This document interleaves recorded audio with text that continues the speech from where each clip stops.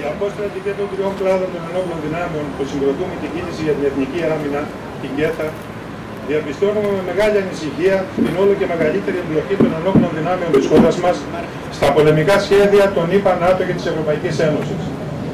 Προβληματιζόμαστε για την πολιτική που ακολουθούν διαχρονικά όλες οι κυβερνήσεις, όπου βήμα-βήμα μετέτρεψαν ολόκληρη τη χώρα σε ορμητήριο των Αμερικανονατοικών. Σε σχέση με την εμπλοκή, ανησυχούμε για τις εξελίξεις στην ευρύτερη περιοχή και την όξυση των ανταγωνισμών κύρια με την Ρωσία. Ανησυχούμε όμως ιδιαίτερα για τις εξελίξεις που δρομολογούνται γύρω από τα κυριαρχικά δικαιώματα της χώρας και του Κυπριακού.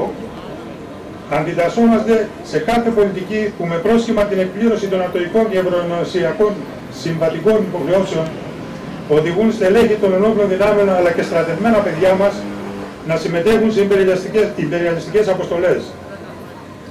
Δηλώνουμε για μια ακόμη φορά και από το βήμα αυτό τη θέση μας για τις ένοπλες δυνάμεις. Ότι μία είναι η αποστολή τους. Και αυτή δεν είναι άλλη παρά μόνο η υπεράσπιση της εδαφικής ακαιρεότητας της χώρας και των κυριαρχικών της δικαιωμάτων. Η κυβέρνηση της Νέας Δημοκρατίας με συνέπεια και συνέχεια στον δρόμο που χάραξε ο ΣΥΡΙΖΑ και οι παλαιότερες κυβερνήσεις εμπλέκει τη χώρα μας όλο ένα βαθύτερα σε επικίνδυνους σχεδιασμούς. Αποβλέπει στη γεωστρατηγική αναβάθμιση της ελληνικής αστικής τάξης που διεκδικεί μερίδιο της λίας από τους πολέμους με τεράστιους κινδύνους για τον λαό. Στην κατεύθυνση αυτή δεν διστάζουν να δαπανίσουν υπέροχα ποσά σε ανατολικούς εξοπλισμούς, ενώ ταυτόχρονα να περιορίζουν τους προπολογισμού για την υγεία, παιδεία και πρόνοια. Την όλο και μεγαλύτερη εμπλοκή της χώρας μας σε επικίνδυνα σχέδια βλέπουμε στις μέρες μας με τη διάθεση του λιμανιού της Αλεξανδρούπολης για την προώθηση των Αμερικανονατολικών στρατευμάτων αλλά και πολεμικού υλικού στα σύνορα με τη Ρωσία, στο πλαίσιο της γιγαντιαία στρατηγική άσκησης Defender Europe 21, που γίνεται υπό την ηγεσία των Αμερικανών. Δεν ξεχνάμε όμως και, και την πρώην 20 εμπλοκή με τη χρησιμοποίηση του λιμανιού της Θεσσαλονίκης κατά τη διάρκεια του σφαγιασμού του λαού της Ιουγκοσλαβία. Η αξιοποίηση του λιμανιού της Αλεξανδρούπολης δεν είναι τυχαία. Είναι αποτέλεσμα της ανανέωσης και αναβάθμισης της Ελληνοαμερικανική Συμφωνίας για τις στρατιωτικές βάσεις που προετοίμασε ο ΣΥΡΙΖΑ και υπέγραψε η Νέα Δημοκρατία.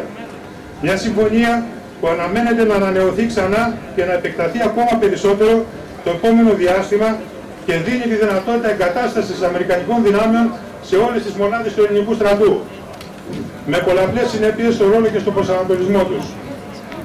Στο πλαίσιο της αντιπαράθεσης ΥΠΑ ΝΑΤΟ Ευρωπαϊκής Ένωσης και Ρωσίας αναπτύσσονται μόνιμα χιλιάδες στρατιωτικών δυνάμεων και από τις δύο πλευρές της συνοριογραμμής. Είναι στρατιώτες με δάκτυλο σκανδάλια από τη Βαλτική ως τη Βόρεια Αφρική. Με αυτή τη συσσόρευση όμως των στρατιωτικών δυνάμεων, είτε μόνιμα, είτε με την ευκαιρία ασκήσεων, το μείγμα γίνεται όλο και πιο εκρηκτικό. Κρίκο στην αλυσίδα των εξελίξεων αποτελεί και το έγκλημα σε βάρος των Παλαιστινίων από το κατοχικό κράτος του Ισραήλ. Ένα έγκλημα που γίνεται με τις πλάτες των ΗΠΑ και της Ευρωπαϊκής Ένωσης. Με αυτό το κράτος δολοφόνο η κυβέρνηση της Νέας Δημοκρατίας έχει αναβαθμίσει τις σχέσεις της χώρας σε όλα τα επίπεδα και με την απαράδεκτη λογική των ίσων αποστάσεων καλύπτει την επιθετικότητα του Ισραήλ. Φίλες και φίλοι, δεν πρέπει επίσης να παραβλέπουμε ότι στη δολοφονική ικανότητα που επιδεικνύουν εναντίον του Παλαιστινιακού λαού οι Ισραηλινές δυνάμεις συμβάλλουν και οι συνεχείς ασκήσεις και συνεκπαιδεύσεις τους με τις ελληνικές ενόπλες δυνάμεις. Πρόσφατο παράδειγμα, η συμμετοχή των πιλότων τους με μαχητικά F-15 και F-16 στην άσκηση Νίωχος 21 που οργάνωσε η ελληνική πλευρά. Αλλά και η φρεγάτα Ήδρα που κατά τη διάρκεια του επανόπλου της από τα Ηνωμένα Αραβικά Εμμυράτα κατέπλεσε στο λιμάνι της Χάιφα για ανεφοδιασμό και στη συνέχεια πραγματοποίησε συνεκπαίδευση με το Ισραηλινό πολεμικό πλοίο Μπατιάμ. Συναγωνίστρια συναγωνιστές, οι εξελίξεις απαιτούν τη μετατροπή της λαϊκής ανησυχίας σε οργανωμένη δράση ενάντια στην εμπλοκή της χώρας μας στα επιθετικά σχέδια των ΗΠΑ, του ΝΑΤΟ και της Ευρωπαϊκής Ένωσης. Η κίνηση για την εθνική άμυνα συντονίζει το αγωνιστικό της βήμα με το αντιπεριαλιστικό φιλελληνικό λαϊκό κίνημα.